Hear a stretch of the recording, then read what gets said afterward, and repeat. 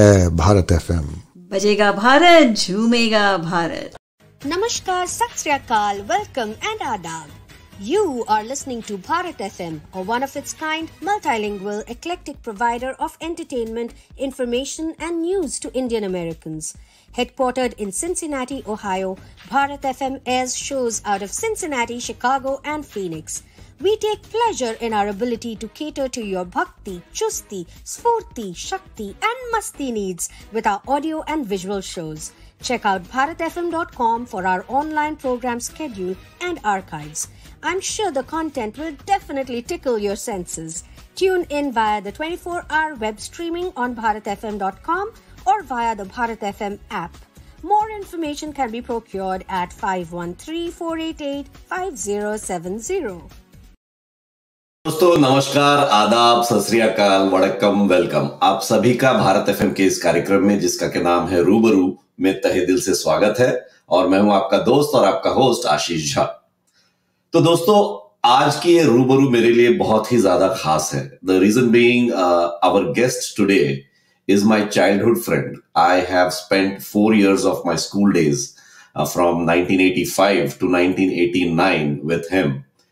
And what I remember about him, the moment it comes to my mind, the, his name comes to my mind, is uh, I was definitely very scared and intimidated by his personality.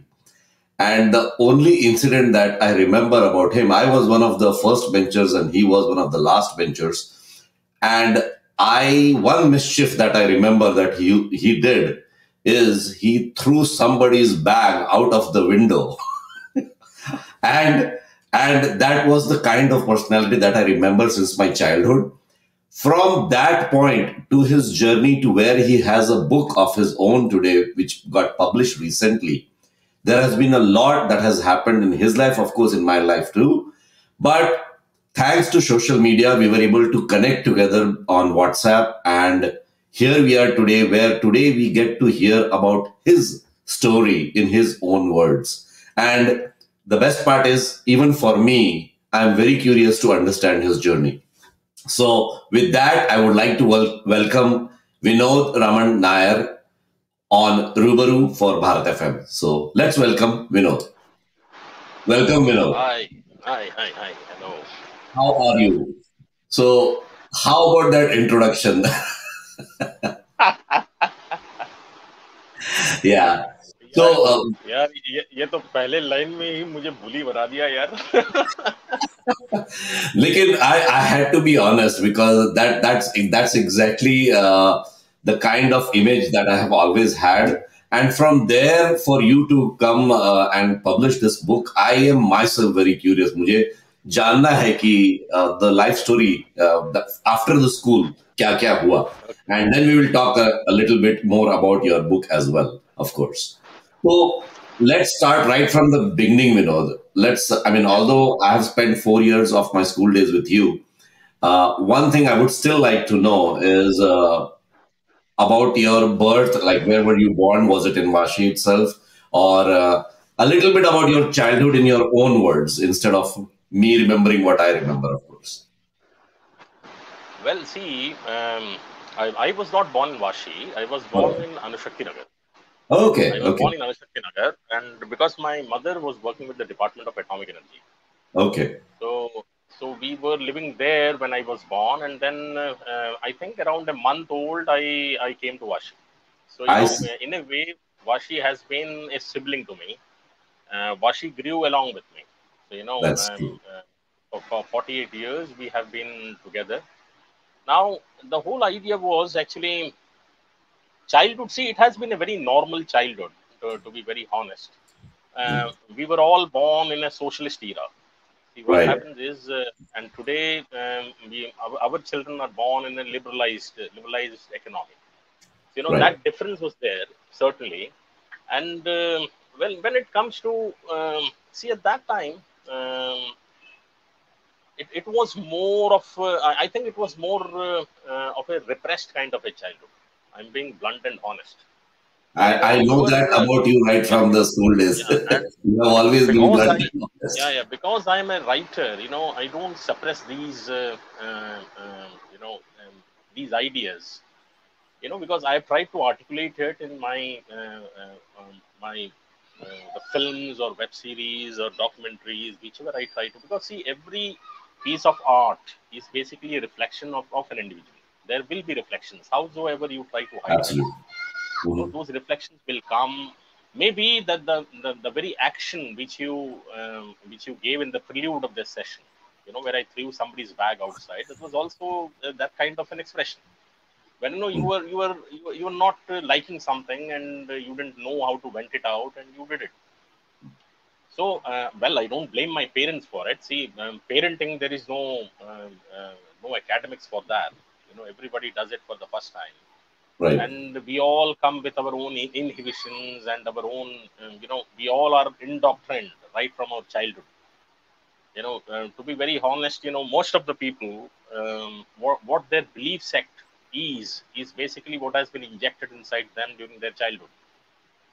You know Mhm. whether they like it whether they don't like it whether they believe it even the concept of god.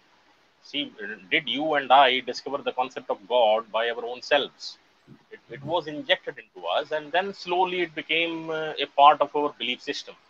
Mhm. and uh, we didn't have uh, the chance to actually uh, uh, reflect upon it or uh, filter it filter those ideas whether you you didn't have the freedom uh, to to whether accept it or to reject it. You know it, it, it was by default set onto you and you had to accept it. So you know many things came the, those ways.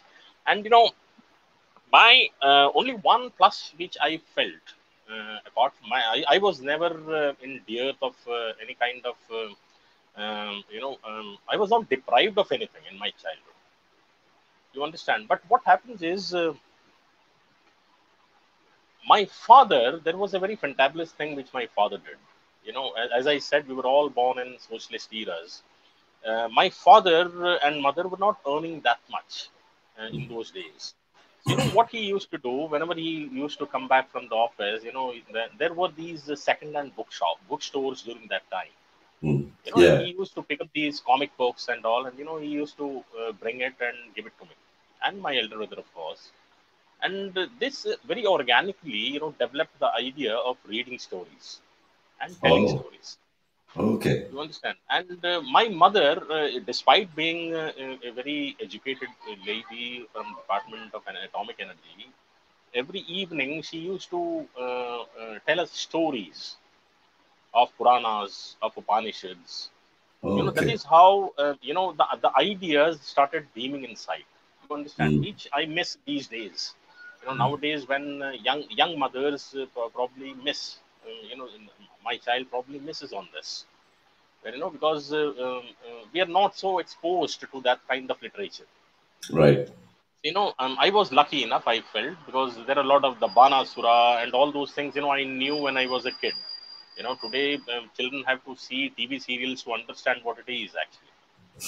You know uh, these were something yeah, yeah Yeah. these were some things which organically were built inside me and uh, um, by the time i came out of uh, school you know there was another big uh, obstacle or obstacle in the sense um, a dilemma in, in a state of confusion um, which basically during the socialist era i feel every middle class household might have faced now the idea was after 10th what do you pick up you know you pick up uh, you know a science you pick up commerce or Commerce or arts. Uh, right. yeah and what happens was um, um, i um, uh, i don't know. I, I had scored 92 in social studies in my board exams in ssc you know i had got 92 and i said that you know i want to opt for arts. I wanted to take on history literature. That was something which excited me even those days even in those days. But you know um, somewhere i don't know it was borrowed knowledge or something you know um, um, th- there was class consciousness in the middle class uh, uh, very heavily laden at that um, in those days know parents and uh, peers of parents used to say that you know अरे arts क्या है? Arts तो क्या है? वो lower class के लोग लेते हैं.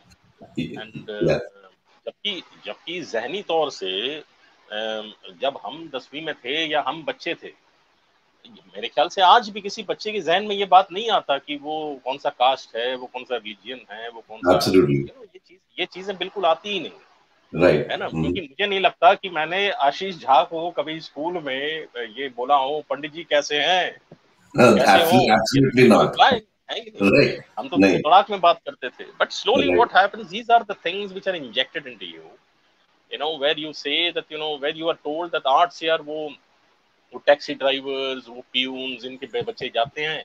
You know you have to opt for science but science क्या है? यार chemistry was already a nightmare for me In 9th and 10th all those molecular formulas and you know so you know uh, somewhere the demons inside me had started surfacing you okay know तो मुझे तो मुझे ऐसे लगा कि यार मुझे uh, uh, rather than getting into something which uh, I'm I'm frightened of you know molecular formulas and all those stuff you know it is rather to travel safe and Hmm. that's why you know what i did was um, um, uh, to be very honest my mom and father my, my mother father would be very very upset when they uh, hear this interview but you know i tricked them and got into commerce oh you know okay i tricked them and got into commerce where i said that उसमें वो father एग्नल्स में मेरे मेरे पिताजी डालना चाह रहे थे मम्मी डैडी डालना चाह रहे थे मैंने कहा वो लिस्ट में आया नहीं मेरा नाम and you know last day आ रहा है आप सोच लो मैं फिर कमर्स ले लेता हूँ नहीं तो सोच लीजिएगा and then that is how I got into commerce and I started my journey there.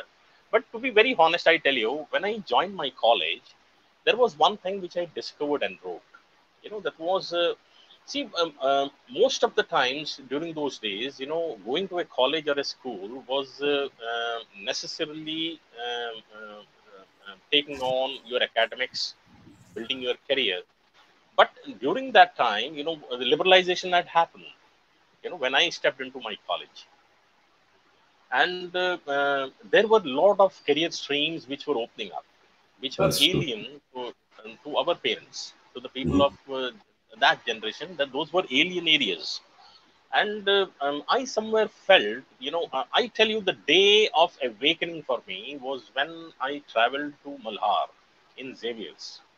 Oh, yeah, okay, I see. Their annual festival? Malhar, with a small team from our college, and I tell you, uh, we were so nervous back out there. You know, it was very important for me to uh, um, to understand at that time that you know um, it's very important to build on yourself um, in in in uh, which which would facilitate you to be competitive in life. Competitive is not that Ashish Jha ko 19 upon 20 mila, to 19 upon 20 run. That is not. See the way we speak, the way um, we engage with each other, you know, everything is very important. You know, so what happened was uh, वो एक middle class complex जो है उसको break करना बहुत जरूरी था. Right. And I also give lot of credit to Osho. You know, because Oh, during okay. that time I had also graduated uh, from fiction into non-fiction. Oh, So okay. there were these two fantabulous uh, uh, speakers whom I uh, used to read, Osho and Gurdjieff.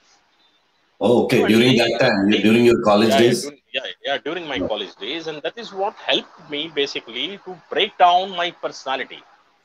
You know, I discovered that these complexes are because uh, of a, a, a certain personality which I am carrying with me. Hmm. You understand? And and see, even Vivekanand says that. You know, Vivekanand, what does he say? You know, he says start from rejecting things. You start with rejection. Even a guru, you know, that's that's what happened in his discourse with Ramakrishna Paramahansa. Right. Very, where he asked his guru, "Why should I take you as a guru?" Hmm. You know, what what happens is uh, uh, it is very important to break that personality which you are carrying with you to to uh, to throw away those clothes, that attire, which have been pushed onto you. And I think uh, I can relate to that with you. Yeah, yeah, yeah. And and and draw the slate afresh. You know, yes. that's how I started. You know, um, um, uh, people took me as a as, as a rebel at that time when I started expressing openly uh, about things, and uh, um people used to um, um, be surprised as to you know this guy is very uh, is responding very unconventionally. But then for a time time being, for that time, you know, I enjoyed it also and uh, I, I always felt that you know uh, it is important see uh, अभी जैसे बहुत सारे analogies है अब जैसे ये लेकिन बहुत पॉपुलर नहीं है टू वेरी हॉनेस्ट नाउ एक एनालॉजी मैं I try to throw it you see what happens is हमको सब ये कहते हैं when it comes to the concept of God people say people say that you know uh, god अंतर्यामी है उसने सब कुछ बनाया है उसके so you know ideally if he has made me he has made my parents तो किसी दिन अगर उसके दरबार में कभी हाजिरी होगी तो ऐसा तो नहीं होगा ना कि मेरे माँ बाप को बड़ी कुर्सी मिलेगी और मुझे छोटी कुर्सी मिलेगी। है ना? So what what happens is see this is what breaking of that personality see it is little sad that you know in Indian societies maybe things are changing I wanted to change I try to bring that in into relationship with my boy know no democracy जो है वो घर पर नहीं होता है। You know mm. you are not able to engage into arguments uh, intelligent arguments uh, uh, inside your house. You know वहाँ पर क्या होता है कि आपको ये बताया जाता है ये ट्रेडिशन है ये कल्चर है आप अपने बड़ों के खिलाफ आगे ऐसे कैसे बोल सकते हैं? इस तरीके की एक एक प्रॉब्लम है इंडियन सोसाइटी में। इसको ब्रेक करने में बहुत तकलीफ़ हुई to be very honest but I really fought it and uh, by the time um, i graduated out you know uh, there was a dream which was basically um, uh, building onto me you know, and that dream started in college or was that from school yeah yeah in in, in, in my higher in, in my senior college oh, okay. पर, uh, when i started uh, interacting with a lot of other people you know uh, ये ये बहुत important होता है मेरे हिसाब से मैं अपने बच्चे को भी ये बोलता हूँ कि rather than मैं उससे कहूँ कि उसे क्या करना है ये बहुत इंपॉर्टेंट होता है कि एक पॉइंट पर वो बच्चा इस बात को डिस्कवर करे कि वो किसमें अच्छा है। Absolutely, क्या बेहतर, क्या बेहतर कर सकता है। Mm-hmm. तो ये बहुत इंपॉर्टेंट होता है। तो मैंने इस इस चीज़ को आ, आ, समझने की कोशिश करी कि मैं किस मुझे करना क्या है? हाँ, राइट तो चक्कर ये है कि अब जैसे अगर हमें जिस तरीके से सिखाया गया है कि ऊपर वाला किस्मत ये सारी बातें हम पर थोपी जाती हैं। अब चक्कर ये है ऊपर वाला मुझे यहाँ इसीलिए तो नहीं भेजा कि ये भी मैं बता रहा हूँ ये भी लाइन मैंने ड्रॉ कर लिया था when I chose where do I get into ऊपर वाला हमें यहाँ इसीलिए तो नहीं भेजा कि मैं वैन हुसैन के शर्ट पहनूं और यू नो बड़े ब्रांडेड कपड़े पहनूं और घूमूं। उसने मुझे यहाँ इसीलिए तो नहीं भेजा कि मैं एक बीएमडब्ल्यू गाड़ी खरीदूं और घूमूं। हाँ। है ना? ये हाँ। ये मैं क्यों करूँगा? ये मैं अपने ईगो को सेटिस्फाई करने के लिए करूँगा। Right. समझ रहे मैं मैं ये इसीलिए करूँगा कि मेरा रुतबा जो है वो मेरे इर्द गिर्द में बड़ा हो जाए। Right. you know, अगर मैं एक बीएमडब्ल्यू में घूमूं और मेरा पड़ोसी मुझे देखे भी नहीं तो मैं बता रहा हूँ मुझे मुझे मुझे बड़ा दुख होगा। तकलीफ़ होगा हाँ, बहुत तकलीफ़ होगा। तो एक्चुअली क्या है that is all run by your ego that is true if there is there is somebody called as God he has not send you to do anything he has told you go and enjoy and we have pushed ourselves into great miseries मैंने ये सोचा मैंने ये सोचा कि मेरे हिसाब से मैं कहानी अच्छा कहता हूँ। I tell I tell stories nicely Now what And, happened and, and was how that did you time- realize that? When did you? I mean, how, what made you I realize used that to you were write- good at I'll storytelling? tell you. I'll tell you. I'll tell you. I um, I used to write for my uh, college magazine. You know, Okay. very, uh, I was uh, prolifically writing for my college magazine during that time. Okay. And uh, एक uh, एक जो audio visual medium है ना उसका एक uh, uh, क्या बोलते हैं उसको uh, uh, उसका एक uh, एक एक्साइटमेंट अंदर कहीं ना कहीं ऑर्गेनिकली क्रिएट हो गया था। उसका भी रीजन ये हो सकता है उसका भी एक रीजन ये हो सकता है कि मुझे मेरे बचपन में सिनेमा देखने नहीं दिया जाता था. Okay. समझ रहे हो? And you will be shocked मैंने अपनी ज़िंदगी की सबसे पहली फ़िल्म 1983 में देखी जिसका नाम था गांधी। वो मेरी पहली फ़िल्म थी जो. ने बनाई और उसका भी इत्तेफाक ये था कि वो स्कूल में स्क्रीनिंग हुई थी। इसके लिए देखने मिला हाँ वो हॉल याद है ना वो हॉल हमारा था मालूम है ऑडिटोरियम? यस यस उसमें उसकी स्क्रीनिंग हुई थी फ्री स्क्रीनिंग बच्चों के लिए की थी तो वो मेरा इत्तेफाक से मेरी पहली फ़िल्म थी।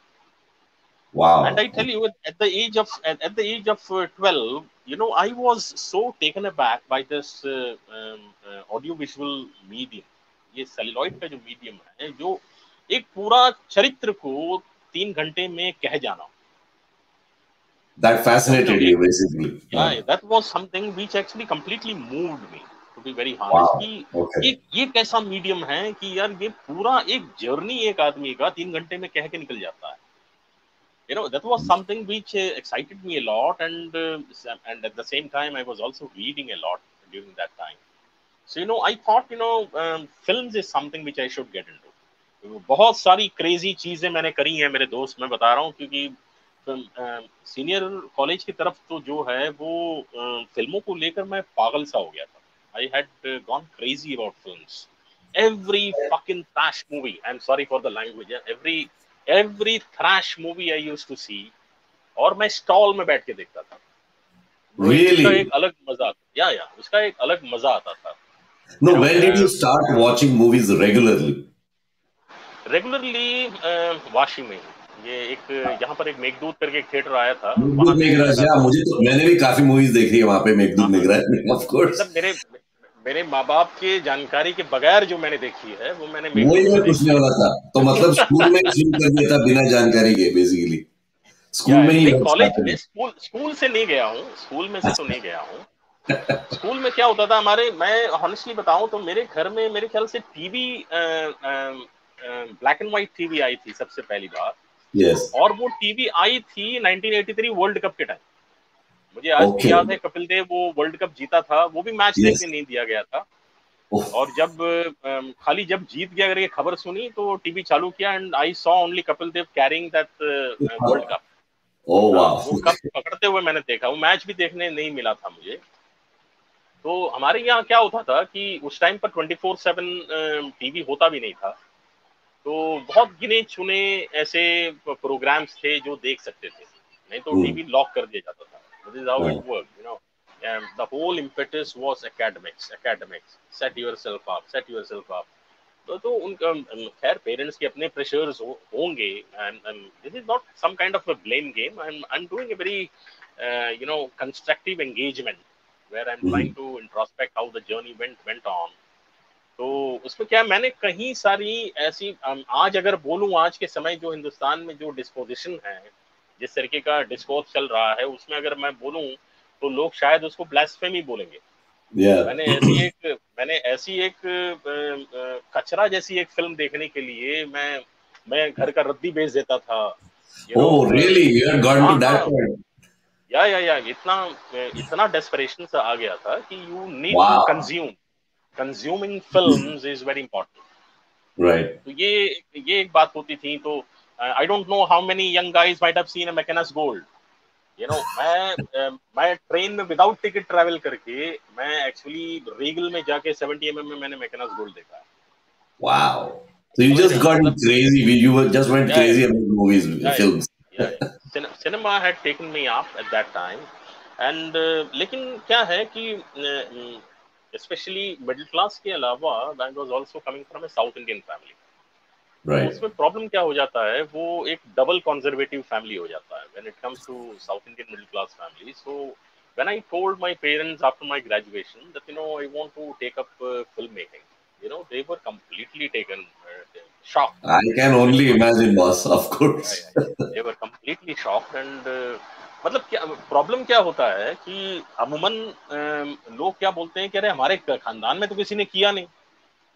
अभी हाँ। क्या होता है घर में कोई इंजीनियर है कोई डॉक्टर घर में कोई डॉक्टर है कोई इंजीनियर है कोई क्लार्क है कोई कहीं मैनेजर का काम कर रहा है तो वो पता तो चलता है कि क्या होता है उसमें। अभी इसमें होता क्या है किसी को मालूम ही नहीं। नहीं मालूम नहीं। तो वो एक प्रॉब्लम आ गई तो but then I insisted you know वो भी वो भी अपना फुट डाउन रख दिए कि नहीं नहीं हम अलाउ नहीं करेंगे। लेकिन मैंने एफटीआई का एग्ज़ाम दिया मैंने एफटीआई का एग्ज़ाम दिया लेकिन दिक्कत ये हुआ एफटीआई उस जमाने में क्या होता था कि आठ ही सीट ऑल इंडिया में होते थे? और आठ eight eight eight Oh seats और फोर सीट्स जो है एट सीट्स के अलावा फोर सीट्स जो होते हैं वो एंग्लो इंडियंस और रिज़र्व कैटेगरी था। Really? तो I did not know that. at at that time you know the probability was very less और hmm. मालूम है हमारे हमारे हमारे टाइम पे हमारा एक क्लास फेलो था मालूम है अरुण अरुण मिश्रा कर oh, हाँ, अरुण अच्छे तरह से जानता हूँ Arun Arun Gupta His dad was his an editor. Yeah, yeah. Yeah, yeah. yeah, His father was an editor. His father was an लेकिन अरुण को एडिटिंग में मिल गया ओ अच्छा एट एफटीआई एडिटिंग में या या या एफटीआई में अरुण को एडिटिंग में मिल गया थोड़ी पिताजी की पैरवी भी थी क्योंकि वो ऋषिदा के साथ वगैरह काम कर चुके थे। अच्छा। तो हम तो बिल्कुल हम तो बिल्कुल पैदल थे उस मामले में तो कुछ हो नहीं पाया उसमें। लेकिन क्या है थोड़ा सा बागी मैं बन गया था उस जमाने में तो मैंने बोला ये नहीं तो कुछ नहीं मैं यही करूँगा। क्या बात है। तो हाँ, चक्कर ऐसे हो गया था। तो मॉम डैड ने थोड़ा सा ये सोचा कि ये जवानी का खून गर्म जोश मार रहा है। हाँ, जोश मार रहा है। तो कुछ दिन में आ जाएगा समझ में आ जाएगा इसको। So you know what happened was वो जो uh, एक एक फाइनेंशियल पावर जो होता है ना जो पेरेंट्स देते हैं उसको फ्रीज कर दिया गया। हम्म। लेकिन चक्कर क्या है कि जैसे मैंने कहा मैं ये मैं गर्व से नहीं कह रहा हूँ ये मेरी ये ये कह सकते हो उस उस वक्त में मैं बहुत नशेमंद था। इस वजह से मैं शायद वो सब कर पाया। तो मैं एक्चुअली यहाँ पर यही वाशी में एक डेविड अंकल करके एक आदमी से मेरी मुलाकात हुई थी किसी के माध्यम अच्छा। से और वो क्या करते थे वो बेसिकली ये ये फ़िल्म लाइन में जो सेटिंग बॉयज़ होते हैं ना जो लेबर होते हैं उनका वो कंसल्टेंट था लीगल कंसल्टेंट अच्छा। But he was a very educated man so you know when i met him and uh, uh, maybe he he saw that passion inside me so he started helping me उनकी जो गाड़ियाँ जाती थी हर set पे checking के लिए उस गाड़ी में बैठ के मैं हर सेट के अंदर घुसता था। यू नो उस तरीके से फील्डिंग होती थी। और ये कोई मैं क्या बोलते हैं कोई पैथोस के लिए नहीं कह रहा हूँ लेकिन उस जमाने में क्या मैं बहुत सिगरेट भी पीता था। मैंने सिगरेट पीना भी शुरू किया था बहुत। तो क्या हो जाता था कि इसमें मैंने कुछ सीन्स भी बनाए हैं अपने किसी कहानी में। Oh, क्या हो जाता था कि हाँ वो एक डिलेमा हो जाता था कि दोपहर को खाना भी है रात को घर भी लौटना है। तो चक्कर ये है कि वो लोग अंदर खाना खाते हैं तो बाहर चले आते हैं। ये सोचकर कि चलो यार एक वड़ा पाव से काम चला लेते हैं। हाँ, राइट बाहर आकर एक सिगरेट पीकर अपने आप को अपने आप से समझौता कर लेते हैं। वो कहते हैं ना मुफलिसी में रोमांस करना। वो वाला तो लेकिन उन, उनका लंच के बाद वो लोग पूछते थे अरे विनोद कहाँ चला गया था यार? खाना खाया कि नहीं? तो मैं बोलता था नहीं नहीं मैं खा लिया. Because already I was taking an obligation from them that's true कल को उनको ऐसा ना लगे कि यार ये तो सर पड़ गया। तो इसीलिए मैं उस तरीके से रहता था। तो it was a very hard struggle I am telling you I even worked as a spot boy in a set of a very एक बड़ी घटिया सी फ़िल्म थी मिस्टर एंड मिसेस 55 नहीं खिलाड़ी मिस्टर एंड मिसेस खिलाड़ी करके हाँ मिस्टर एंड मिसेस 55 तो क्लासिक फ़िल्म है गुरुदत्त की। मिस्टर एंड मिसेस वो नहीं वो नहीं वो नहीं ये क्या अक्षय कुमार और जूही चावला की फ़िल्म थी। डेविड साहब की बनाई हुई एक फ़िल्म थी। वो उसमें एक डायलॉग है ना बच्चे की जान लोगे क्या? ऐसा कुछ डायलॉग है उसमें। कादर भाई कादर भाई वगैरह थे उसमें। उसमें मैंने स्पॉट बाई का काम किया है। That's because that used to give me मेरे पास यूनियन का कार्ड नहीं हुआ करता था। तो जब उस टाइम पर साढ़े चार सौ रुपए एक डेढ़ शिफ्ट का मिलता था मुझे दो सौ रुपए मिलते थे जो कार्ड काम कर रहा था। इसके लिए दो सौ देते थे हाँ।, जो एजेंट था वो वो ढाई सौ रुपए मार जाता था। लेकिन वो दो सौ रुपए में वो दो सौ रुपए में मैं एक हफ़्ता सरवाइव करता था। Traveling my traveling from Washi to uh, Andheri and then around they're trying to meet people. All that used to come in 200 rupees in that week. Yeah. 200 rupees a week. Wow. Yeah. तो उस दौर में एक बात ये हुई कि बासु भट्टाचार्य एक ऐसे शख्स थे जिनकी मुलाकात मेरी कॉलेज टाइम्स में हुई थी और कॉलेज टाइम कॉलेज टाइम पे वो ये जो आईसीएल कॉलेज जहाँ पर मैंने अपनी कॉलेज हाँ वहाँ का वो ट्रस्टी थे Oh, I didn't never knew that. Okay. Yeah, yeah, he was a trustee and यहाँ पर जो फ़िल्म सोसाइटी था कॉलेज का उसका मैं चेयरमैन था oh, okay. हाँ तो जब वो एक फ़िल्म अप्रिसिएशन का सेशन हो रहा था तो उनसे मुलाकात मेरी हुई थी और मैं ही उनको अंदर ले आया और उनको बाइज्जत छोड़ने भी गया तो उनकी एक फ़िल्म की स्क्रीनिंग चली जिसका नाम था तीसरी कसम ओके टू रिमेंबर तीसरी कसम ओरे ओरे साल मिले नदी नहीं yeah, yeah, नहीं सज, सजन रे झूठ मत बोलो वो जो सजन रे झूठ मत बोलो यार वो जो तीसरी कसम फ़िल्म थी उनकी हाँ. वो फ़िल्म की स्क्रीनिंग थी वो उनकी पहली फ़िल्म थी। और उस पर उन्होंने अपनी अपना एक दृष्टिकोण पेश किया स्टूडेंट्स के सामने। अच्छा। फिर उनको छोड़ने जा रहा था and as I told you I was a very rebel brat kind of a guy at that time तो मैंने उनसे कहा सर आप इतना इंटेलेक्चुअलाइज कर रहे हैं तीसरी किस्म के बारे में लेकिन ये तो कमर्शियल डिजास्टर थी। तो अचानक हाँ। वो भड़क गए आप समझ रहे हो मैं उसको गाड़ी में छोड़ने जा रहा हूँ और मैं मैं, मैं ये गुस्ताखी कर रहा हूँ कि मैं उनसे कह रहा हूँ कि सर लेकिन ये तो एक डिजास्टर थी। हाँ। तो क्योंकि उस टाइम पर क्या बच्चा था समझ रहे हो ना? हाँ। तो सिनेमैटिकली भी आप ग्रो नहीं किए थे। आपने इतनी सिनेमा देखी नहीं थी। देखी नहीं थी हाँ। तो हाँ। तो एक्चुअली वो गुस्सा हो गए and he started and he also argued with me like a kid you know जबकि उनको ज़रूरत नहीं था। मेरे जैसे एक मेरे जैसे एक अदना सा आदमी के साथ उनको आर्ग्यू करने का ज़रूरत नहीं it was a commercial disaster? Uh, it was a successful film. मतलब Defending and himself. you know yeah. या या तो जब मेरी बड़ी बुरी स्ट्रगल चल रही थी तब मैंने सुना कि वो आस्था फ़िल्म बना रहे हैं। अच्छा। तब हाँ तब मैंने उनसे मिलने की मैंने फिर हिम्मत जुटाई और मैं उनके पास गया। And I should tell you Vasuda की ये बात मैं बहुत आज भी याद रखता हूँ अपने मन में। इतने साल बाद भी उन्होंने उस बात को याद रखा।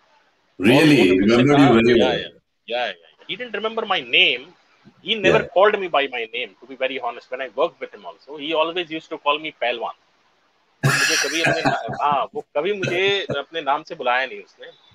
और उसने मुझे बोला वो that's interesting you want to work with film maker you know you know he remembered that that is something which he remembered uh, until then you know i said sir uh, uh, i'm so sorry about it i'm not trying to be defensive but at that time i was too naive you know to understand uh, uh, what actually that cinema was and i i honestly feel आज भी मुझे ऐसा लगता है तीसरी कसम मेरे ख्याल से विलेजेस पर विलेज लाइफ इन इंडिया पर uh, बनाई हुई सबसे बेहतरीन फिल्म है जो It एक- is absolutely. Yeah. Yeah, I was about to say that it's a very well made film, but unfortunately, it did not. It was not a blockbuster as such. Yeah. या, या, या।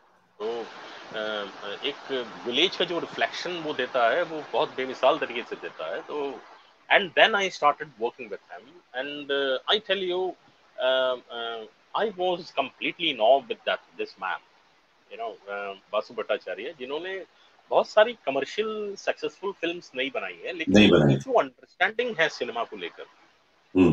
वो उसने मुझे मेरी ग्रूमिंग में उसने बहुत उसका बहुत योगदान है। Hmm. मैंने अपने पूरे 24 इयर्स की जर्नी में फ़िल्म जर्नी में मैंने ऐसा कभी नहीं किसी फ़िल्म मेकर को बोलते सुना। ये मुझे मारा भी है इन्होंने। सेट पे मुझे इन्होंने मारा भी है।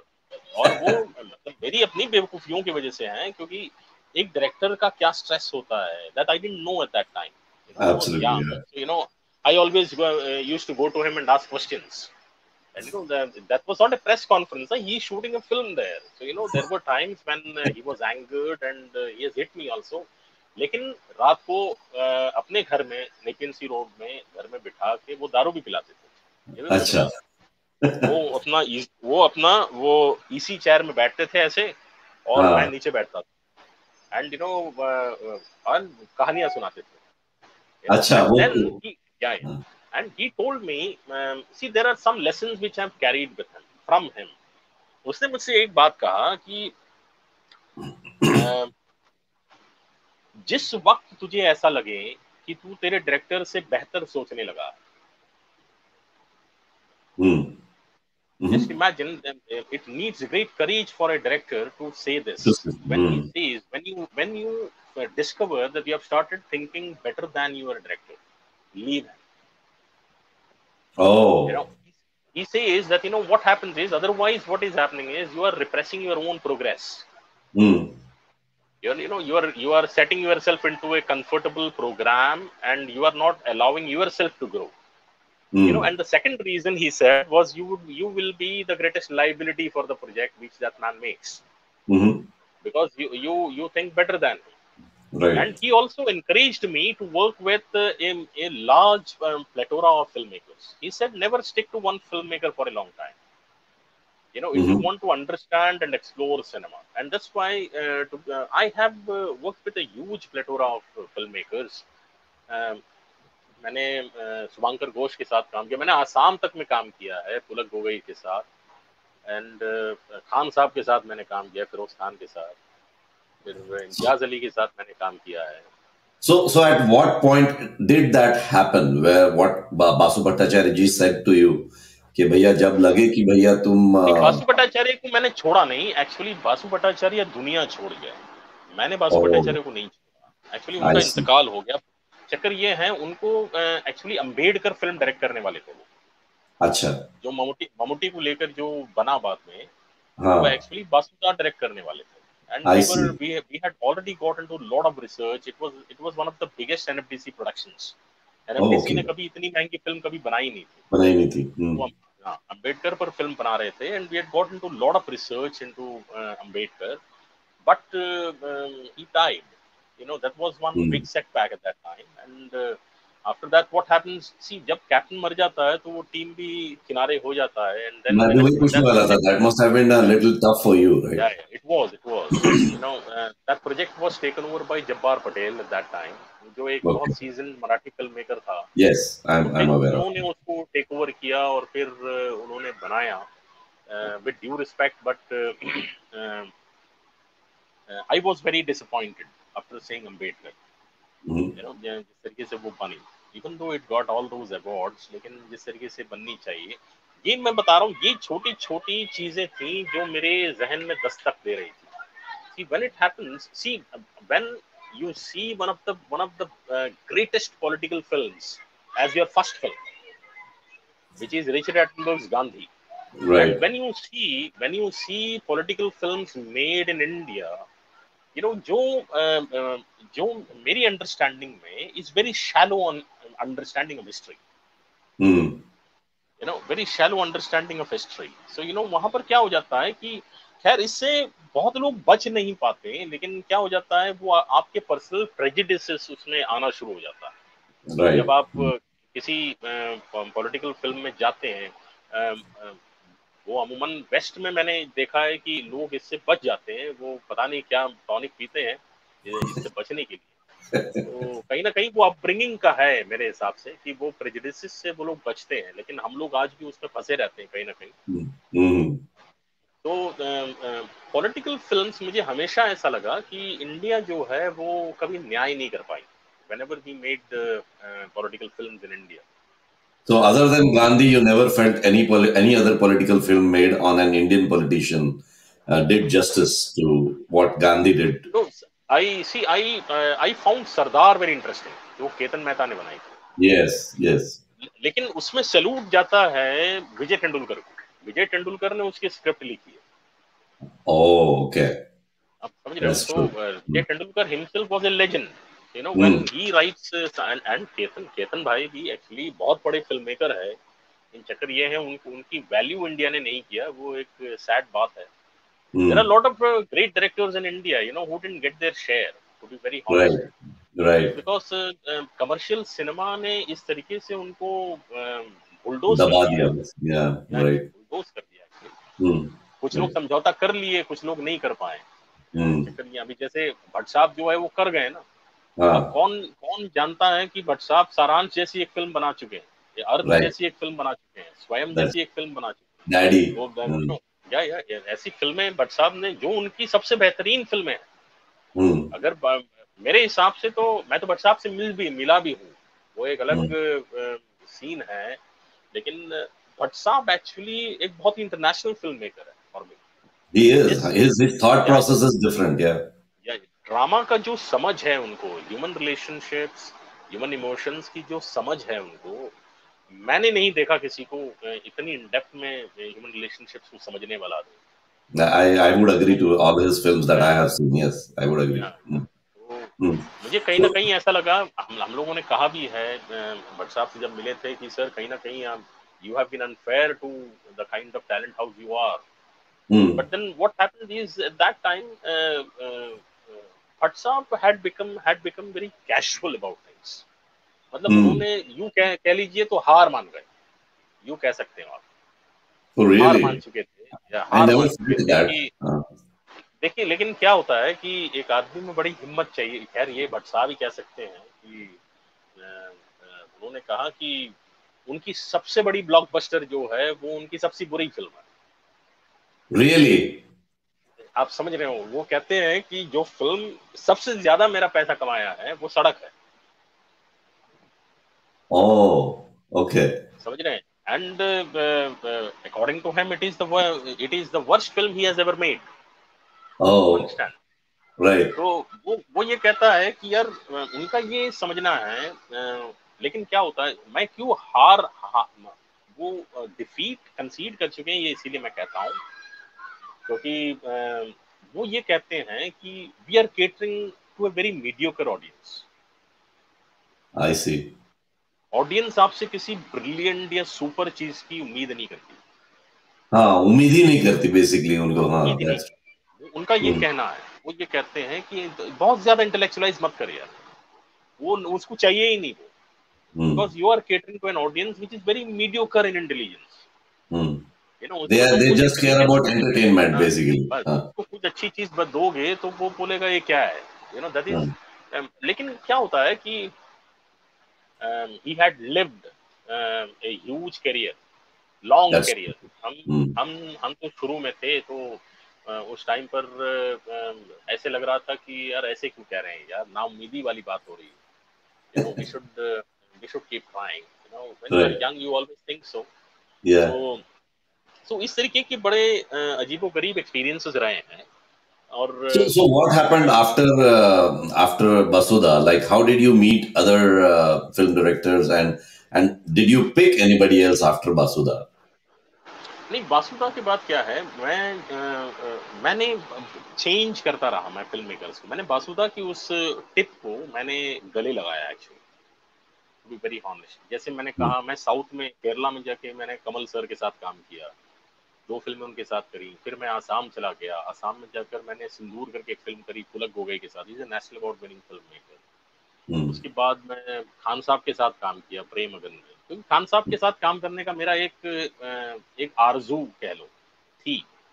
कि मैंने बचपन में जो खान साहब की फ़िल्में देखी है मुझे हमेशा ऐसा लगा है कि I use to see him as the Richard Burton of India हम्म। उनकी अपनी एक स्टाइल होती थी तो मैं जब वेर ईगल डेयर देखता था मुझे ऐसा लगता था कि यार ये फिरोज खान खान साहब ने तो वॉकिंग स्टाइल हु बहु इनसे so you are very impressed with his personality from right from the beginning या very and I tell you towering towering personality मैं जो मैं देखता था उससे चार गुना ज़्यादा ही मैंने पाया।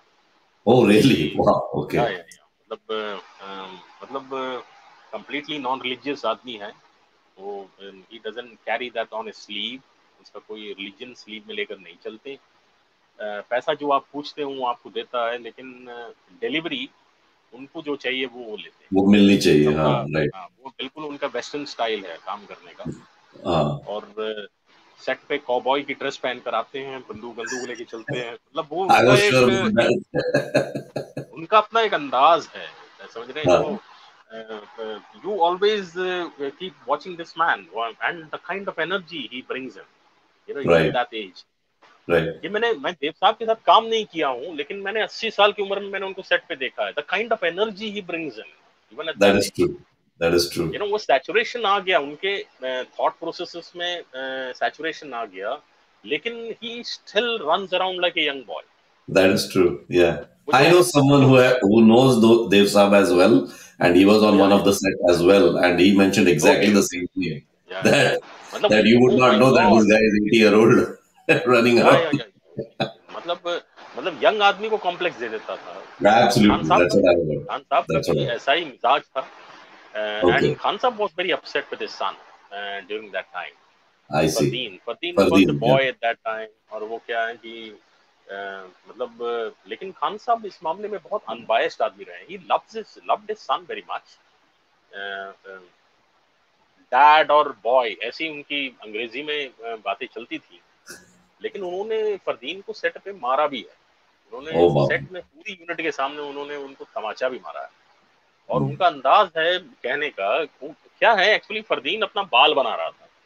दैट इज़ वेयर ही के he was ready with a shot and he wanted to take it so he slapped him in front of everybody and he said तेरा बाप इतना बड़ा star this is this was his dialogue तेरा बाप इतना बड़ा star आज तक कभी आईना नहीं देखा was what what Khan Sahab was और दूसरा. क्या है कि लेकिन कंप्लीटली एक कोई क्लास कॉन्शियसनेस नहीं था उनको खाना भी. सबका सेम लगता था मतलब Hmm. ऐसा नहीं कि लेबर जो है अलग खाएँगे ऐसा कुछ नहीं ये ये बड़ी पॉजिटिव चीज़ें थी जो मैंने उनके सेट पे मैंने ऑब्ज़र्व किया. खैर खान साहब का एक अलग एक्सपीरियंस था जो मेरी तमन्ना थी। फिर Imtiaz was also during his formative days. तो इम्तिहान सीरियल कर रहा था वो टीवी कर रहा था उस जमाने में। Right. इम्तियाज़ के साथ काम करने का मौका मिला और मुझे ऐसा उस टाइम पर फील हुआ I should be very honest here that Imtiaz was one of those young directors in that time who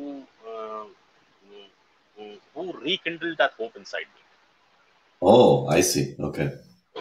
तो मुझे ऐसा लगा कि अ, अ, क्योंकि इम्तियाज़ में कहीं सारी प्लसेस थे थी जो सीखने जैसी थी a see. very disciplined was a very वो जिस तरीके से अपने सेट में कॉन्डक्ट उसका होता था I have never seen him screaming at anybody मैंने उसके सेट पे उसको किसी पर चीखते हुए भी मैंने नहीं सुना है मतलब he was so involved and engrossed in his work I also learn from him that you know and वो उसने मेरी उस पहलू को बड़ा इनकरेज किया वो ये बात है कि a director needs to write Right. देखिए अनफॉर्चुनेटली क्या है इंडिया मात्र एक कंट्री ऐसी है जहाँ पर एक डायरेक्टर जो है बिना लिखे हुए डायरेक्टर बन जाता है Hmm.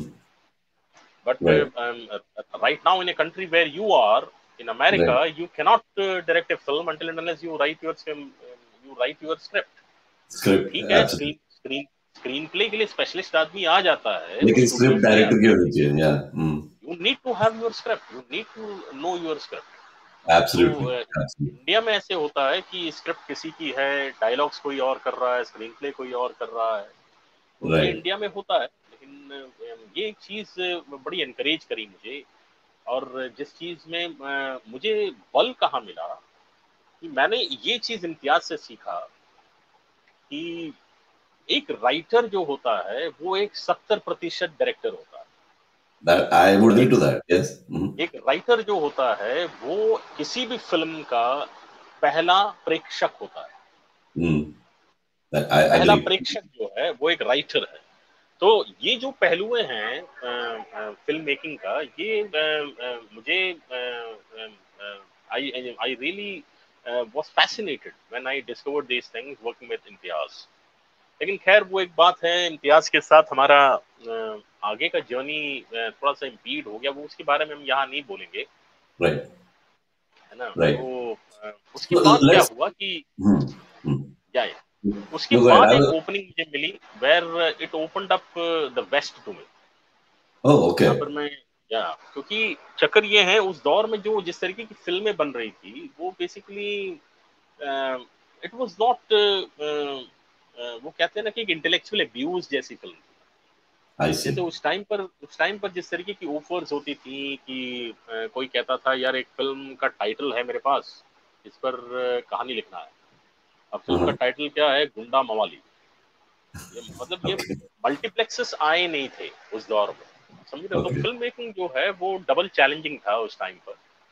तो अब वो भी हो जाता है ना यार कि मैं अपने आप को इतना टैलेंटेड राइटर भी नहीं समझता कि कोई भी आदमी कुछ भी कह दे वो लिख दे। तो Right. कहीं ना कहीं कहीं ना कहीं an idea has to ring a bell inside you otherwise how do you get it.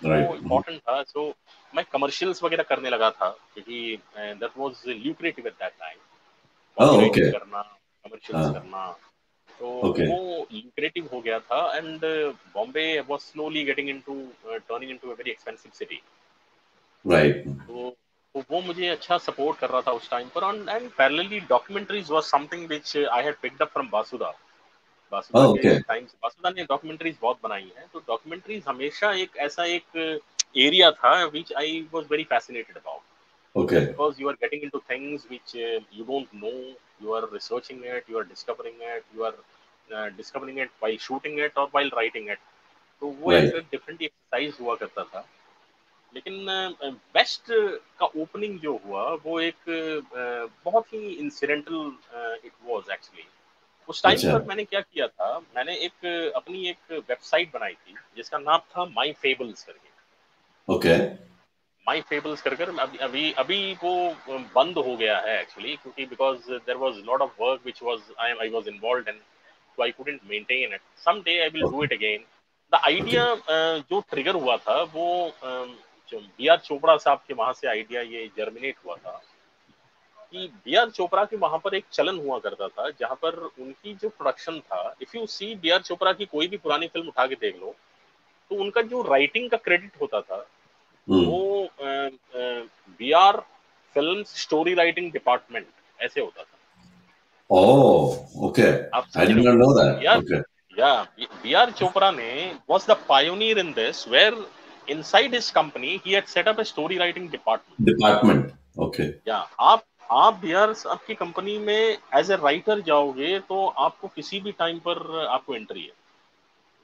आप अपनी कहानी आपकी कहानी कहने के लिए वहाँ पर सुनने के लिए लोग हैं। लोग हैं ऐसा एक Oh, हाँ ऐसा एक ट्रेडिशन उन्होंने सेट किया था और राइटर्स की बड़ी इज़्ज़त होती थी।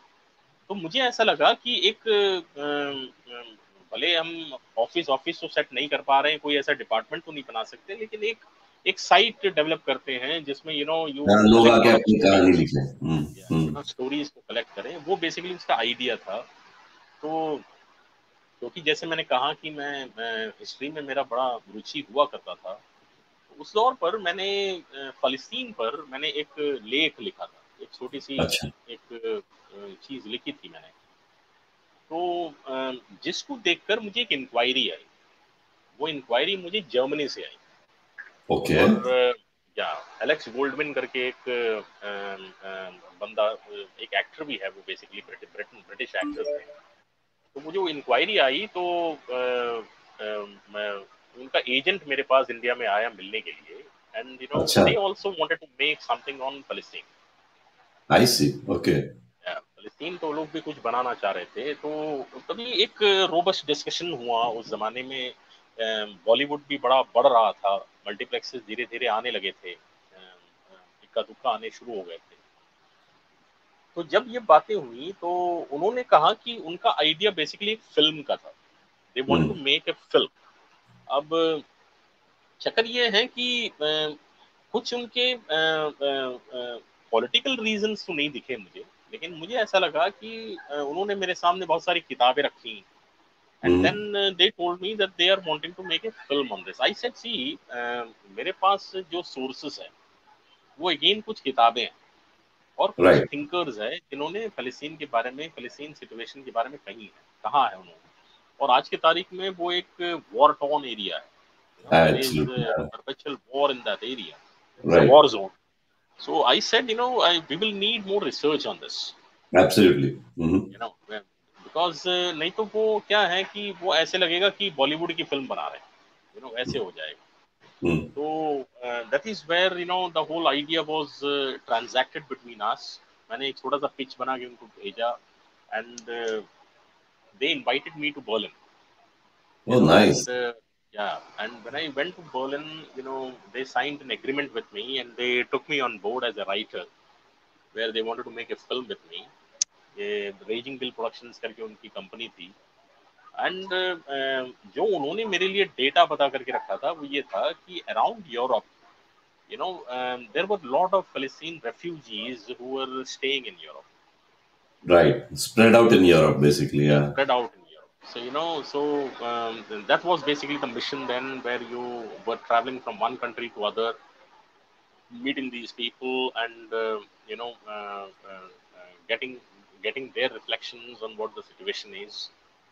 और uh, ये पूरी फ़िल्म प्लान हो रही थी और इस फ़िल्म को टर्किश फ़िल्म मेकर है लेजेंडरी फ़िल्म मेकर है मुस्तफ़ा अल्तुकार वो इसको डायरेक्ट करने के लिए बोर्ड में लिया गया। तो बेन किंग्सली इसको करने वाले थे लेकिन बेन किंग्सली का भी डेथ हो गया एक्चुअली Right. पूरे छोटा रोल कर रहे हैं उसमें। तो in making. It is being made right it's almost done almost done actually इसमें दिक्कतें क्या हुई मैं बता रहा हूँ। दिक्कतें ये हुई कि ये कंप्लीटली एक रॉन्ग टर्न ले लिया एक पॉइंट पर। जब इसकी प्री प्रोडक्शन खत्म हुई तो इसने एक बहुत ही रॉन्ग टर्न इस इस कदर लिया कि इसके प्रोड्यूसर ने दुबई फ़िल्म फेस्टिवल में इस फ़िल्म का अनाउंसमेंट किया 2004 2004 में? Wow okay. 2004 में इसका अनाउंसमेंट जब उन्होंने किया तो उनको कुछ डेथ थ्रेट्स आ गए। Oh, really? Um, yeah, he got some death threats. Uh, um, I don't know why, because they had not actually shared the idea of the film. Idea of what the film is about, yeah. Mhm. या तो लेकिन अ, उनका ये doubt था कि Shin Beth जो है जो बेसिकली इजरायली इंटेलिजेंस है वो उसकी तरफ़ से ये एंगेजमेंट था बेसिकली और. अ, उनकी और दूसरी बात क्या है खैर तुम अमेरिका में हो तो तुम जानते हो यार कि Jews basically they control most of the finances in the world. So finances जो है वो चोक हो गए उसके in. Europe also there were people who were not ready to you know fund the movie further. Yeah. Then ultimately he got a funder from Lebanon actually, and then that is how he finished the film. Actually, film को उसने Wow. finish करी. Oh, तो वो एक बड़ा लंबा समय रहा, लेकिन क्योंकि वो फ़िल्म को छह सात साल लग गए बनने के लिए, तो उसके बीच में हमने कुछ डॉक्यूमेंट्रीज बनाए क्योंकि हमारी जब जैक और एलेक्स के साथ हमारी दोस्ती बढ़ी तो ये चीज़ हमने महसूस किया कि इसके बीच हम कुछ और भी कर सकते हैं then that is why where we made I directed my first documentary actually okay. तो which was basically Gaza settlement to hell तो बेसिकली हम लोगों ने गाजा स्ट्रिप में शूट किया। And perhaps I am I I was one of the first Indians to shoot on Gaza strip. और, अ, हाँ यहाँ बड़े मतलब दिल दहलाने वाली एक एक सिचुएशंस थी इवेंट्स थे जो हमने शूट किया। और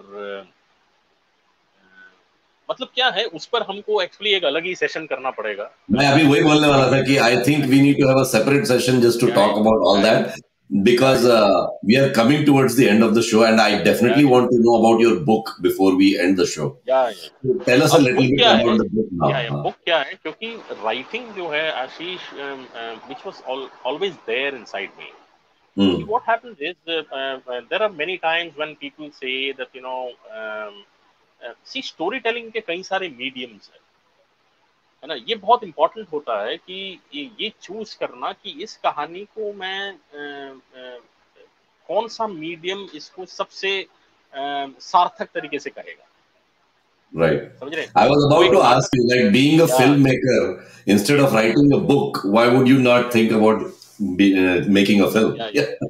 Then जैसे जैसे नाटक होता है यू नो नृत्य होता है you know Right. There are different mediums. Yeah, there are different mediums. various mediums of telling a story Hmm, Yeah. you know when um, this idea ये आइडिया कैसे स्पाइरल हुआ इसकी एक छोटी सी बात मैं कह कह के एक 30 सेकंड्स में खत्म करता हूँ Sure, sure, absolutely. एक्चुअली क्या है पिछले पिछले एक पाँच छह साल में जो माहौल हिंदुस्तान में गरमाया है उसने ये नहीं कि ये मुझे नहीं पता था लेकिन ये ये मुझे ऐसा लगा कि ये ये एज ए राइटर ये एक स्टेटमेंट करना बहुत ज़रूरी है वो ज़रूरी क्या हम्म। है एक्चुअली क्या है कि मैंने और तुमने भी इस बात का तजुर्बा लिया है कि हमारे बचपन में जब हम पढ़ते हैं तो Hmm. इतिहास जो हम पढ़ते हैं ना इसको क्या हमारे माँ बाप भी बहुत ज़्यादा तवज्जो नहीं देते. वो ये कहते हैं यार वो पीसीएम का स्कोर होना चाहिए वो साइंस और मैथ्स का ध्यान दो। फिर हाँ वो इस तरीके से हमारा हमको झोंका जाता है। You know there is nothing which during your grooming days where people tell you about what is history and how is history connected to you ये लोग नहीं बताते। और यही right. कारण है यही कारण है कि हम ऐसी सोसाइटी में अब रहने लगे हैं, जीने लगे हैं जो इतना वल्नरेबल है जो इतना वल्नरेबल है कि आपको एक व्हाट्सएप मैसेज में कोई आदमी वर्गला सकता है। समझ रहा है? आप क्योंकि आप आप उसमें आप ब्लैंक हो। You you. Are completely a blank space and anybody can write anything and instigate you and you. Can do nothing you are completely helpless against it Right. You understand and and as it is हमारे traditional families में research का तो कोई space ही नहीं है ना। Research research का कोई स्पेस ही नहीं है। पढ़ो। पढ़ो। They, they say, हाँ, पढ़ो। Um, तो चक्कर ये अभी जैसे um, कहते हैं ना कि बाप अगर कांग्रेस को वोट करता है तो बेटा भी कांग्रेस को ही वोट करेगा। ये ये एक अनफॉर्चुनेट फैक्ट है इस कंट्री का। अगर अ, अ, बाप आरएसएस वाला है तो बेटा भी आरएसएस वाला होगा। ये इस तरीके से एक बड़ा अजीबोगरीब चलन है इस मुल्क का। खैर वो, वो इतना इम्पोर्टेंट नहीं है। मेरे लिए ये ये ज़रूरी था कि अ, अ, हिस्ट्री की अंडरस्टैंडिंग जो है वो एक मैंने कहा ना बहुत छोटी छोटी चीज़ें हैं जो इसको कंट्रीब्यूट करती रही। जैसे हिस्टोरिकल फिल्म्स भी जो इंडिया में बनी है। अब जैसे हम कमाल अमरोही की वगैरह बात करें तो वो एक बात अलग है क्योंकि वो विद्वान लोग थे। वो पढ़ते थे उन, उन, उन, उनको उस दौर के बारे में पता था वो उस पर अध्ययन करते थे। लेकिन जो एक मॉडर्न सिनेमा में इस बात का बड़ा एक द्योत सा लगा मुझे जहाँ पर बहुत ही फिल्मसी तरीके तरीके से किसी भी एक हिस्टोरिकल कैरेक्टर को पेश किया जाता था। अब उसमें भी मुझे एतराज़ नहीं है लेकिन प्रॉब्लम क्या है? सी वाई इज़ विक्रमादित्य की अगर हम बात करते हैं विक्रमादित्य की सबसे खूबी क्या थी? ये मैं अगर एक मंच में पूछूँ तो उसमें कोई कुछ बता नहीं पाएगा। चक्कर हम्म। क्या होता है कि उसमें हम क्या लोगों को दे रहे हैं वो सिर्फ़ एंटाइटलमेंट है. लेकिन विक्रम शिवाजी शिवाजी की हम बात करते हैं see what a fantabulous military strategist he was absolutely जो जो जो उनके वो हुनर जो है उसको एक्सप्लोर करना रिसर्च करना ये ये लोगों में नहीं इंजेक्ट किया जाता। इसको। आप समझो। हम्म। अशोक। कहा गया है अशोक की बात हम्म। सम्राट अशोक की बात हम करते हैं। सम्राट सम्राट अशोक कितना बड़ा एक मिलिट्री स्ट्रेटेजिस्ट था।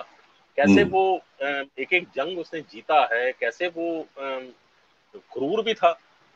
अब चक्कर ये है कि जैसे किसी एक पत्रकार ने मुझसे पूछा भी मैंने जो अपनी कहानी को सेंटर किया है वो इसीलिए मैंने किताब को चुना वो इसलिए कि अगर मैं इसको फ़िल्म में तब्दील करता हूँ ना तो इसमें क्या हो जाता है कि बहुत सारी डिटेलिंग्स इसकी मिस हो जाएगी आई सी ओके जब हम फ़िल्म में बनाते हैं अभी जैसे हैरी पॉटर का उदाहरण ले लो हैरी पॉटर की किताब आप पढ़ोगे और hmm. फ़िल्म आप देखोगे तो there will be lost of things which are lost in transition know, yep. so there were a lot of detailings which I wanted to bring in uh, into the I story. See.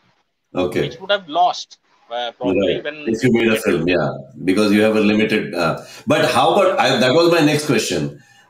These days, everybody is behind the web series because web series yeah. lets you do that to get into the details, right? Yeah. So, did that yeah. thought ever came to your mind to do a web series out of I'll, I'll tell you, I'll tell you. See, uh, nothing against, I have nothing against OTT uh, and web series. मैं कुछ चंद कहानियां लिख भी रहा हूँ अच्छा मेरा एक मेरा, मेरा एक छोटा सा आ, आ, कसक जो मेरी आ, मन में हमेशा रहा है वो ये है कि ओटीटी एक्चुअली इंडिया जो है ना वो आज भी बड़ा कंज्यूमर रन सोसाइटी है। जब थिएटर्स ओपन थे तब ओटीटी और वेब सीरीज़ जो है वो ठीक है यार ट्राई करके देखते हैं। जब थिएटर का दरवाज़ा बंद हुआ कोविड के नज़र से तो everybody started jumping on to it या ये एक बड़ा जैसे क्रिस्टोफर नॉलन भी इंडिया में आके फ़िल्म में शूट करने को प्रमोट कर रहा है। सी मैट्रिक्स डिजिटल में इसीलिए शूट होता है बिकॉज़ 90 परसेंट उसमें स्पेशल इफेक्ट्स है। एब्सोल्युटली स्पाइडरमैन डिजिटल में इसीलिए शूट होता है क्योंकि it's it's a complete virtual world they are creating that is true लेकिन इंडिया डिजिटल में इसीलिए शूट करती है because it it is lesser expensive you understand ये ये डिफरेंस है. हमारा हमारा हमारा अप्रोच का डिफरेंस ये हमारा डिफरेंस है अप्रोच का. तो right. चक्कर क्या है? वेब सीरीज़ में एक ही चीज़ है जो मुझे थोड़ा सा डिससेटिस्फाइड रखता है वो ये है कि canvas smaller screen. Mm. You know that is something which uh, that that is the only thing which actually puts me little मेरा enthusiasm थोड़ा down कर देता है. तो mm. uh, नहीं तो actually uh, um, uh, new filmmakers के लिए it's a it's a fantastic medium. Mm. लेकिन ये जो प्रोजेक्ट है ये इसका जो साइज़ है ना ये उसमें जस्टिफाई नहीं करेगा आई सी So, book was the right medium for you. Now, let's talk right. about the content of the book. Uh, yeah, yeah. What, what, kind of people would be attracted towards the book, and what kind of people should read this book? Yeah. Yeah. You see, uh, uh, um, history. I think um, um, history को isolation में नहीं देखा जाता. You know, I, I have I have uh, spaced that in my preface also. See, what happens is we miss the magic of history when we start seeing history in isolation. India right. का history दुनिया से अलग नहीं है। Right. Africa का history जो है वो अफ्रीका से अलग भी है। You know what happens in Africa has had its cascading effects in other part of the world also right you understand so history can not be seen in isolation so when when we say that you know एक particular history को लिया गया है अब चक्कर ये है कि मैं एक प्रश्न पूछता हूँ। वो ये है हिंदुस्तान में कितने लोग इस बात को जानते हैं कि आर्यभट्ट ने शून्य को खोज निकाला है ना Hmm. कितने लोग हैं हिंदुस्तान में जो ये जानते हैं कि ब्रह्मदत्त ने डेसिमल ढूंढ निकाला Hmm. Right.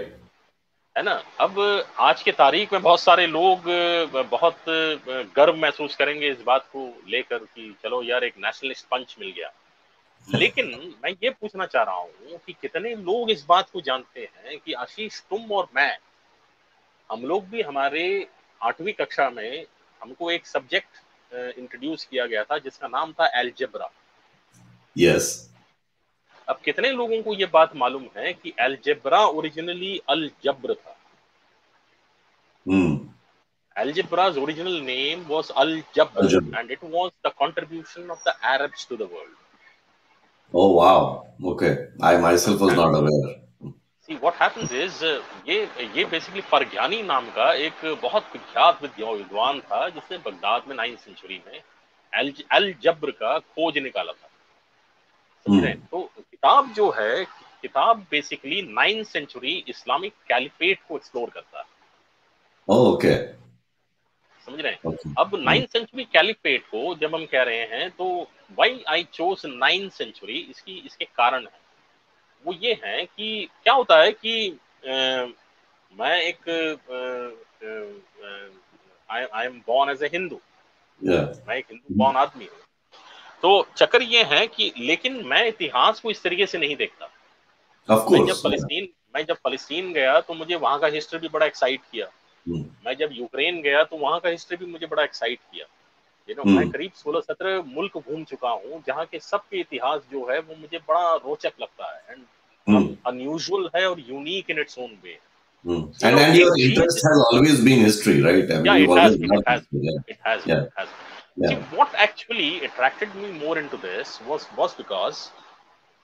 हम जब भी किसी इस्लामिक एम्पायर की बात करते हैं ना हिंदुस्तान में हिंदुस्तान सेंट्रिक बात कर रहा हूँ तो क्या हम्म। होता है चंद नाम अ, सामने आते हैं जैसे हम्म। औरंगज़ेब हो गया एक बाबर बोल देगा एक भूला बिसरा आदमी शायद शाहजहां हम्म। बोल दे ताजमहल के कनेक्शन में. कोई आदमी बोल देगा कि भैया एक अलादीन खिलजी भी बोल देगा क्योंकि अभी पद्मावत बन गया Right. तो एक्चुअली मैं ये आर्ग्यू कर रहा हूँ कि ये ये कोई भी आदमी जो है वो इस्लामिक एम्पायर था ही नहीं Right. Right.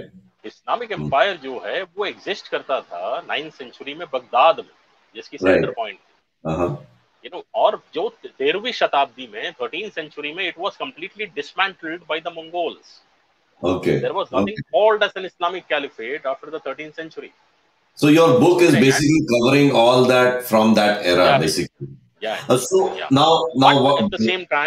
but at the I am not same history in this way जैसे मैं अभी हम लोग डिस्कस कर रहे हैं storytelling behind each of the Yeah. incidents. I believe. मैं Yes. और उसमें मैं ये कह रहा हूँ कि आशीष और विनोद जो है वो नाइन सेंचुरी को ढूंढ के निकले Oh, I and acha. you are adventurers.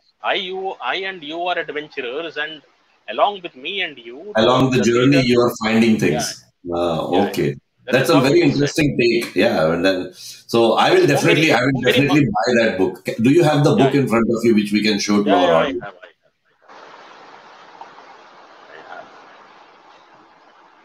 So my that book. is the book. Uh, the camera is here. Yeah, okay. Three and the Emerald Stone of Irene. Now I need to understand how did you come up with the name and what was the thought process behind it?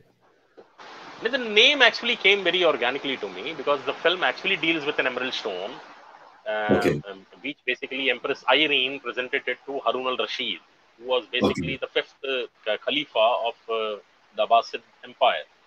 Now, Okay. three का जो जो three का genesis है, that is uh, certainly very important.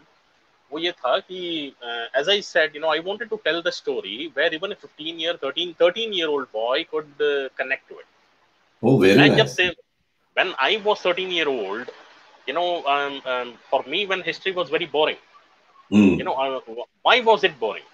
Hmm. Uh, It was boring because it was. Uh, um, I was asked to uh, uh, by heart timelines. एक एक personalities के नाम होते थे जिनको मैं जानता भी नहीं था मेरी कोई उनके Hmm. साथ पर्सनल कनेक्ट नहीं था लेकिन मुझे उनका नाम रटना पड़ता था टाइमलाइंस रटना पड़ता था मैं ये कह रहा हूँ let us approach history devoid of any timelines and personalities. Mhm. मैं मैं इस का, कहानी में मैं किसी भी पर्सनालिटी की बात नहीं कर रहा हूँ मैं Right. सिविलाइजेशन की बात कह रहा हूँ Okay. Okay. मैं ये कह रहा हूँ कि देखो ये एक अद्भुत चीज़ वहाँ हुई और उसका जो इफ़ेक्ट है वो हिंदुस्तान में कैसे हुआ Oh, so you have connected that to India. Okay. M N Okay. Indian without an Indian connect it becomes Listen. Incomplete That is तो true. इसीलिए वो वो जर्नी थी तो इसीलिए मैंने अम, अम, इसमें तीन हीरोज क्रिएट किए हैं जो इस Acha. कहानी So में that, that's where the three is coming from. That is the three that is the three basically तो ये तीन हीरो जो है इनकी अपनी अपनी ये they come from their own fields and from different parts of the And how do they how do they explore their journey of exploring Yeah, yeah, yeah. uh, history? Basically, that's what it मेरा is. कहानी कहने का तरीका जो वही है जो entertaining है जब अच्छा। अगर मैं एक लाइन में कहूँ तो एक सुपर विलन है और ये तीन हीरोज है और उसके बीच में ये इतिहास Very nice. That I will definitely go ahead and buy the book. Uh, and although I had told you that I am not Yeah, a good yeah, yeah, book reader, avid reader, but this interests me a lot. I mean, I love storytelling for sure. See, If at somebody least मैं, gives me मैं, a story, मेरी I- एक छोटी सी suggestion है कि अपने बच्चों से पढ़वाओ मैं अभी वही बोलने वाला था you caught my mind i was about to say that my younger one keeps telling me Yeah. that she likes history so well, i'll buy the book at least i'll give ask her to give it a try and Correct, see what she gets out of that and i'll definitely give you the feedback I, i'll myself read it too so vinod we have gone 15 minutes over time but the Yeah, but yeah, the yeah, discussion but the discussion was amazing i felt that I know a different Vinod now from what I have seen at the school.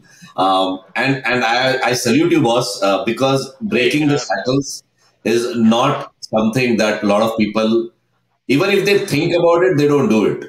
Uh, and, and I think it is important to identify yourself, to reveal yourself, to know yourself. Yeah.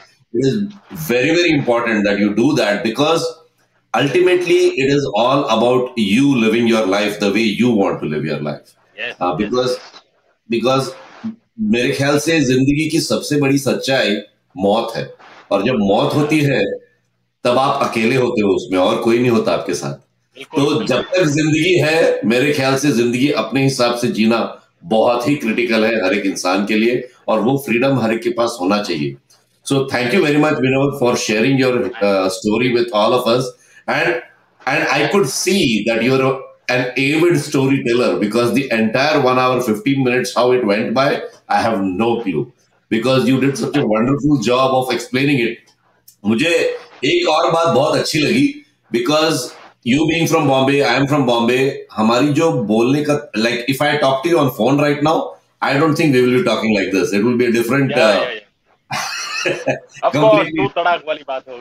absolutely. So I never knew that this Vinod is has such a good command over language in general, not just English or Hindi. But uh, but I believe because you are a storyteller and a story writer, I, I think you uh, kind of worked. You have worked on that so much that you have oh, polished it very really well. Absolutely, I have, right? I have, I have. So so thank you very much, Vinod, for uh, sharing this. I mean, this has been wonderful. And I will ask all our uh, audience and our listeners to share this because this will stay on our Facebook and our YouTube channel and share this wonderful discussion with their friends and family and learn a lot about you, your journey, and your thought process, your book, and everything. So, thank you very much. With that, we come to the end of our show. Uh, thanks for your time. Thanks for coming to Bharatafan. We will keep in touch, of course. Yes, yes, sir. Yes. All right. Any, any last few words you would like to say? So that's all. Um, uh, buy my book and uh, let me know. Let me know how you find it Okay. because I'm coming All out right. with my second part uh, in February. Ab- abs- no, amazing. All right. Thank you, Vinod. Okay. Uh, you have a wonderful uh, rest of the weekend.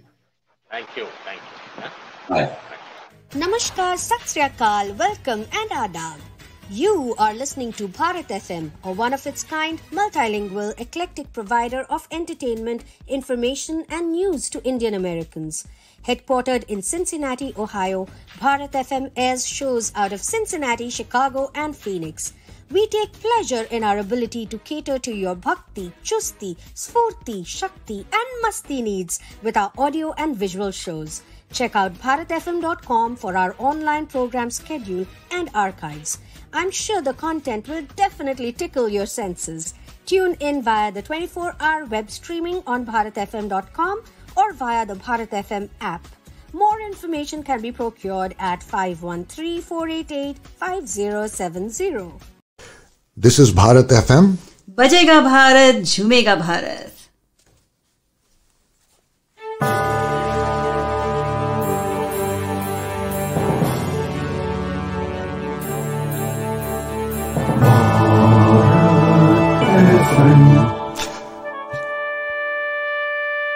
ये है Bharat FM.